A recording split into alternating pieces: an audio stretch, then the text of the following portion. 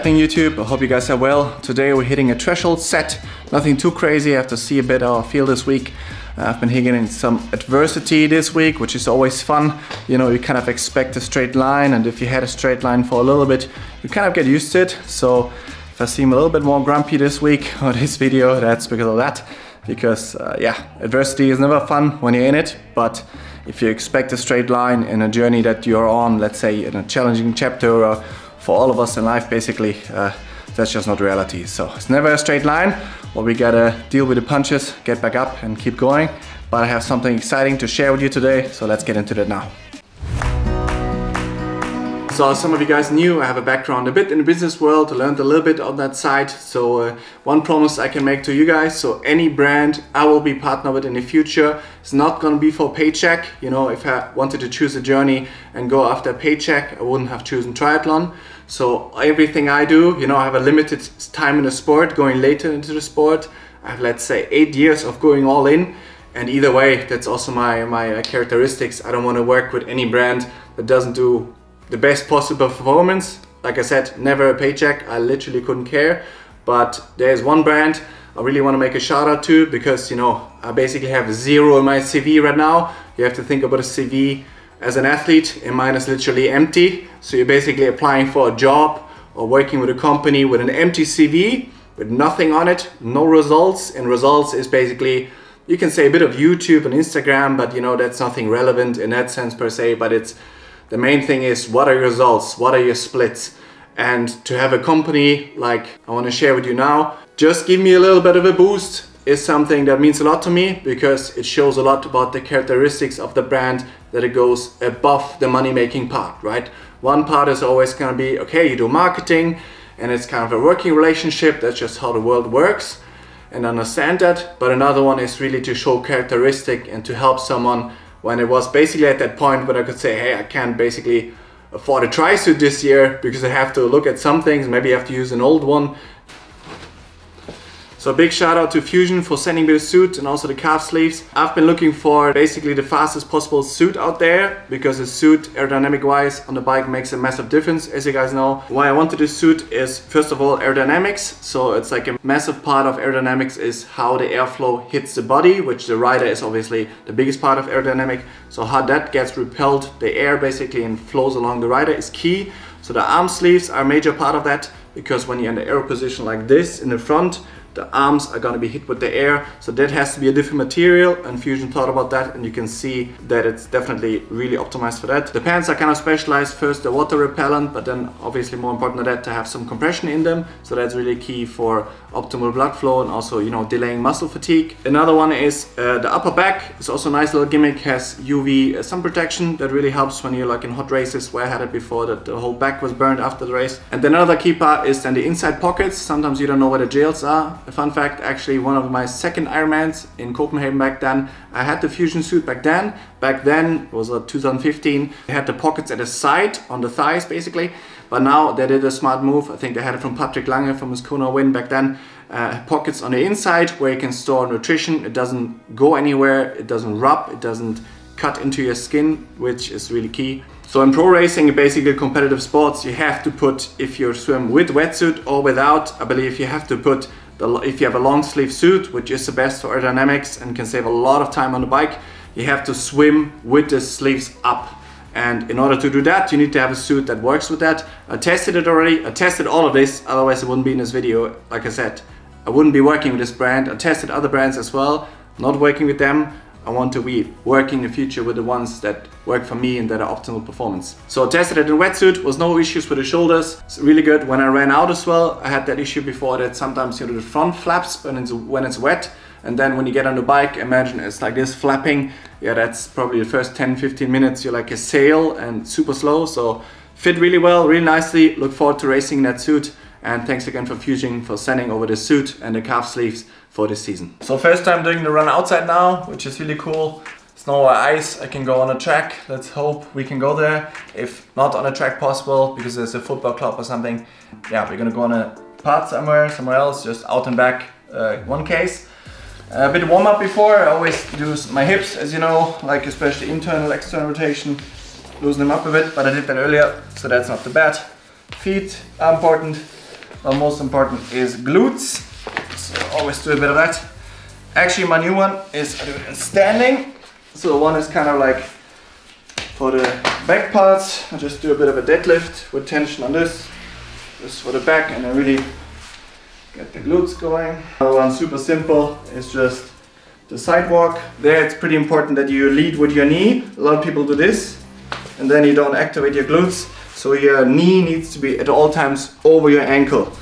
So if you do this when you look down from the top, you need to lead with the knee, not with the foot. Most people do this and then you don't have your glutes and hips. What you want is the side. So do a bit like this, always knee over the foot Really excited to try my new shoes. I'm so happy I got them. There's like a few performance things. I mean, some things are shared. I did the Aero bike fit with Matt Bottrill. That was a big one.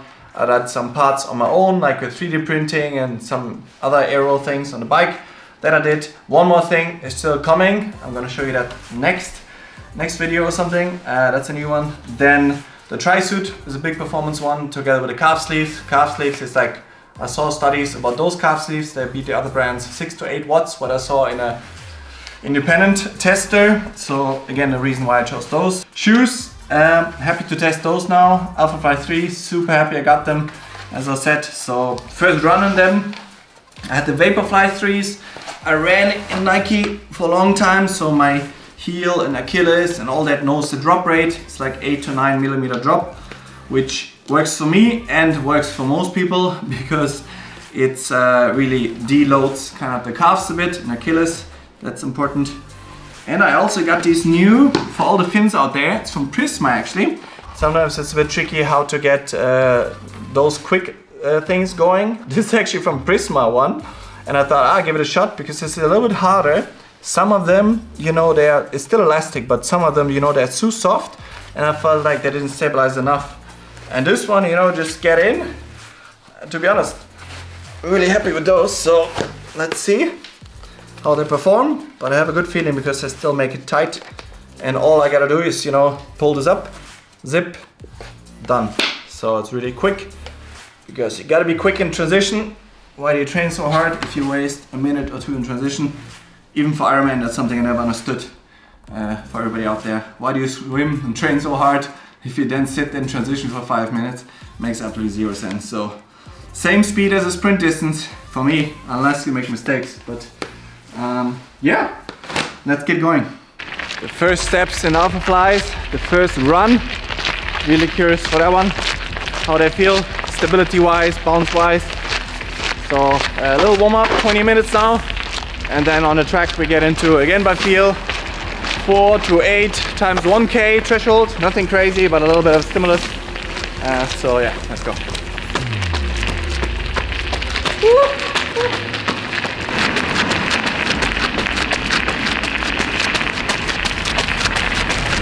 That's ridiculous.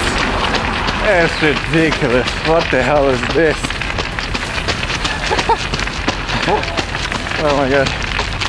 If you don't have those shoes, good luck feels the exact same as the, you know, had the Invincible. They turned out to be actually good. I said they were bad, but they just need some warming up first, and then they soften up. So it feels for me supernatural. That's ridiculous. I mean, just curious for the intervals. I ran the Vaporfly 3 for a long time, and I ran it down a bit. They changed something with the AirPods. That is not just the carbon plate that gives the bounce. That makes it last longer. I saw some reviews, independent, not from Nike, and they uh, said some guy ran 300 miles on it and it's still bouncy. So the old Nikes, uh, Alphaflys, they kind of broke at me after 150, 200k, they just lost this bounce. So uh, yeah,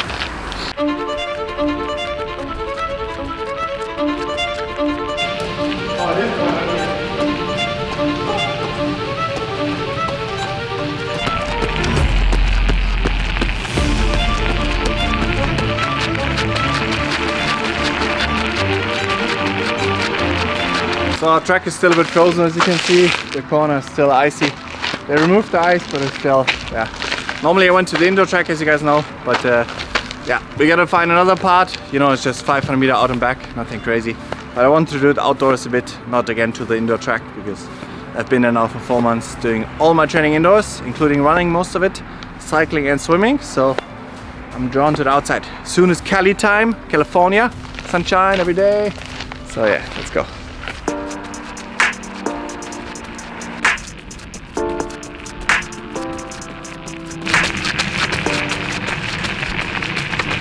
let's. Here is also possible. Huh? Do you want asphalt over? Perfect.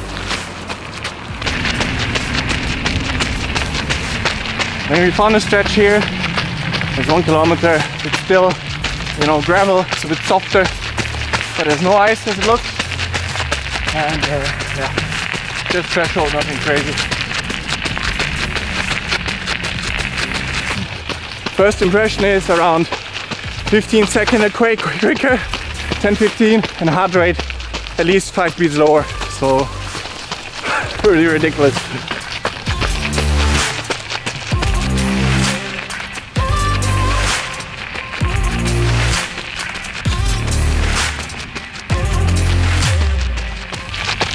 This is one of our local harbors. Really nice and frozen still. But with a run like this, I also don't want to have any music when you're getting closer to the race because you want to be in the moment, you want to be visualizing the race, you want to manifest good things, you want to manifest running strong in Oceanside off the bike in these amazing shoes. And same for Texas, only positive things no matter how you feel, if you feel good, if you feel glad, your brain is leading your body. So no matter what's going on in your life, you always got to steer your brain as much as you can. There will be low points. I had low points this week. Frustration, anger, you gotta face it and then get over it and then you're keep on going.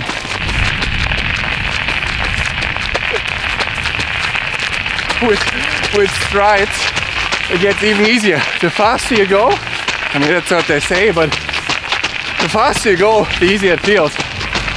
Pretty freaky. That's why performance first. Shoes, suit, bike, aerodynamics, non-negotiable. Everything I choose, non-negotiable. You think I sacrificed everything that I did? Take bad equipment? 100% not.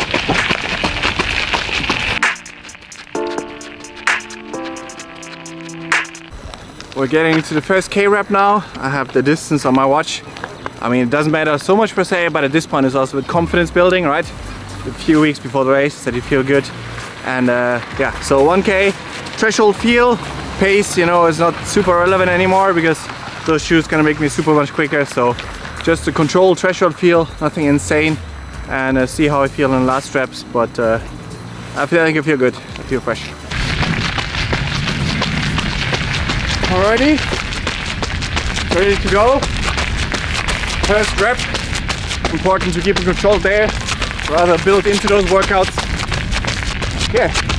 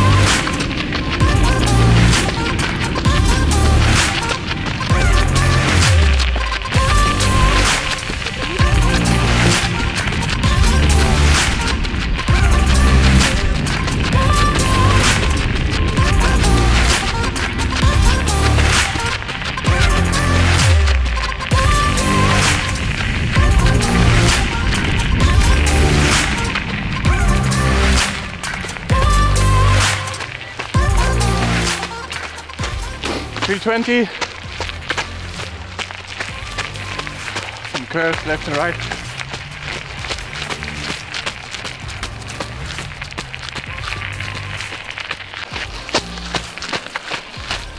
Ninety seconds rest. doing good. So.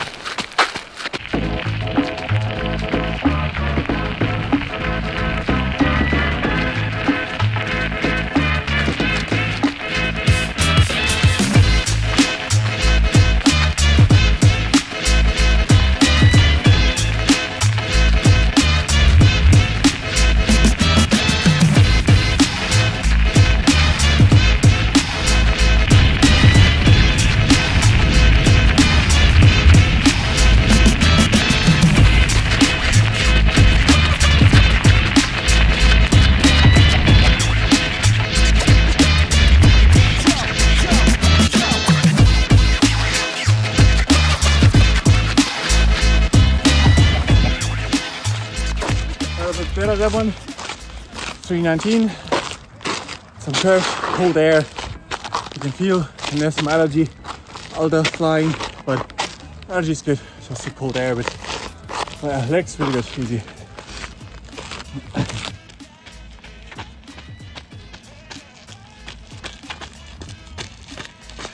Thirty seconds to go, and then we go for number three. Sorry, the camera battery died, so from now on it's iPhone. And uh, yeah, let's get into it. Control threshold session. Nothing insane. Feeling good. Oh, Hey! nice. All right. That was okay. Five.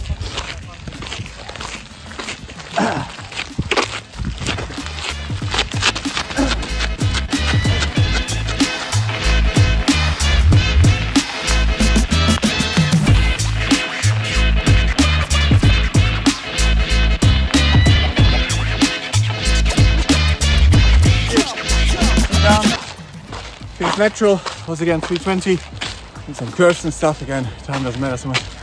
The feel is really good. Breathing, working nice. What you want with threshold.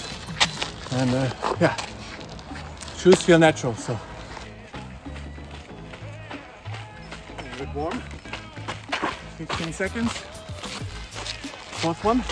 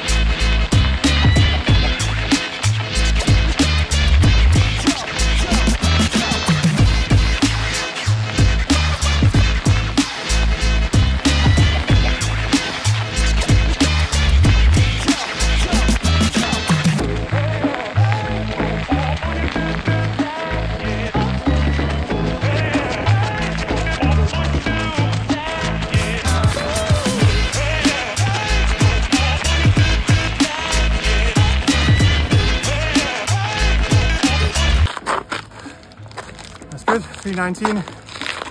I'm gonna do one more. And then I'm gonna cap it here.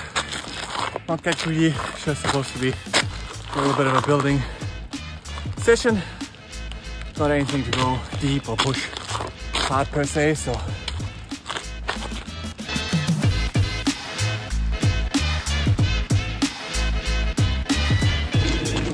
All right, last rep, 15 seconds to go. And give me a year, let's say 12 months of training like this, maybe less. I'm gonna be doing those at 3-0 pace. So 30 minutes, 10k pace, for the same effort. Promise.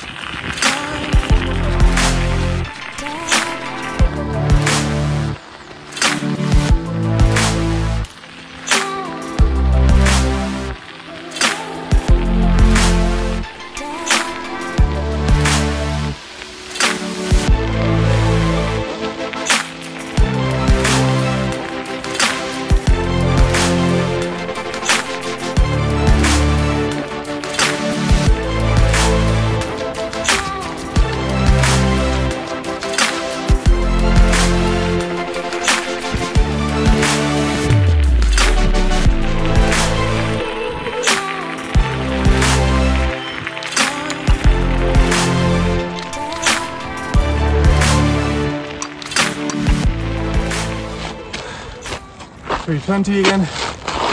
Uh, it's good, but that's it for this session. I got another, and I'll just easy running for the rest.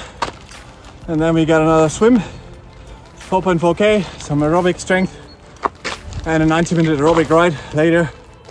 Nothing insane. And tomorrow is a quality day, one of the few last ones. And uh, yeah, step by step.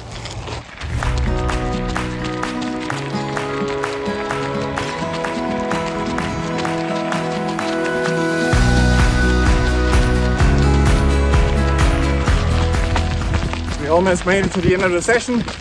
Five minutes left.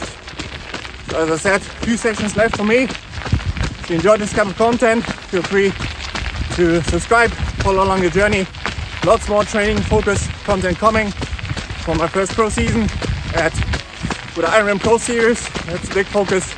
Should be exciting coverage to follow as well, and uh, exciting to see what my training will result in in racing. So let's have fun, enjoy it, and I'll see you in the next video.